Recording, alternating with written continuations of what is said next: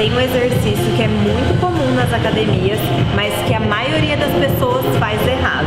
Fica aqui nesse vídeo que você vai descobrir qual que é esse exercício e como que você deve fazer da maneira correta.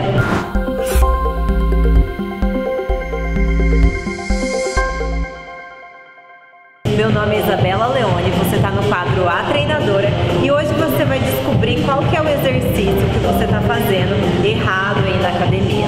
Esse exercício mostrar o jeito certinho de fazer esse movimento.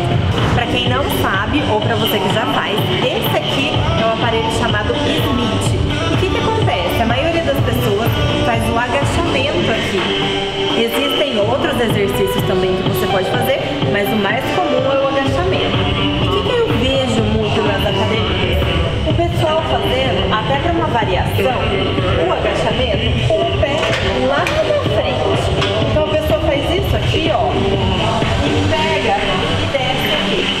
Vai embaixo e subir. Ou até mais para frente, porque fala que vai pegar mais glúteo, mais posterior.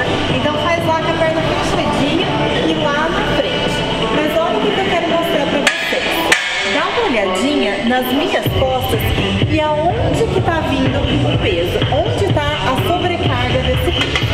Então, ó, a gente vai filmar bem aqui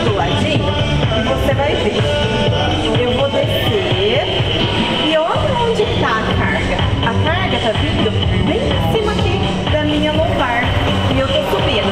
Aí, mas pega mesmo mais o meu glúteo, mais o meu quadríceps. Beleza, pode pegar, só que um agachamento normal pegaria muito mais e ainda você estaria protegendo a sua lombar. Então como que é o jeito certo? Não é nem com o pé fechado, nem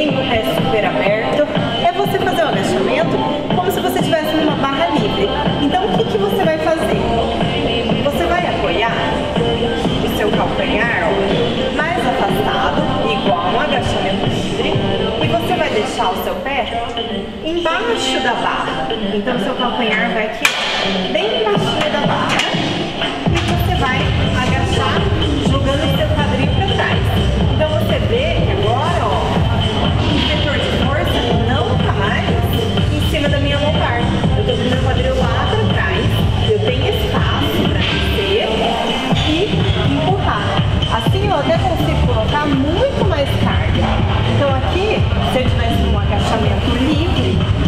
Estaria fazendo o mesmo movimento.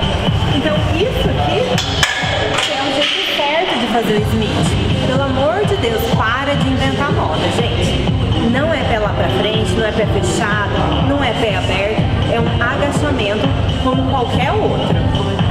Vale lembrar sempre que o básico funciona e que aquele movimento que é o funcional, ou seja, o que exige o que você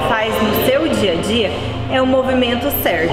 Tenta não ficar inventando moda porque isso não funciona, só vai machucar você.